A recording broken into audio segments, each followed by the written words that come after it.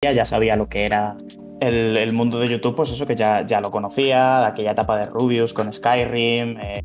yo qué sé, o sea, eran, eran tiempos, pues bueno, los que yo estaba, estaba estudiando, estaba haciendo mis cosas y, también pues estaba un poco consumiendo ese mundillo y, fue una etapa en la que quise, quise engancharme porque de alguna manera lo pensé, ¿no? El, el decir, mm, no quiero verme dentro de 10 años y decir,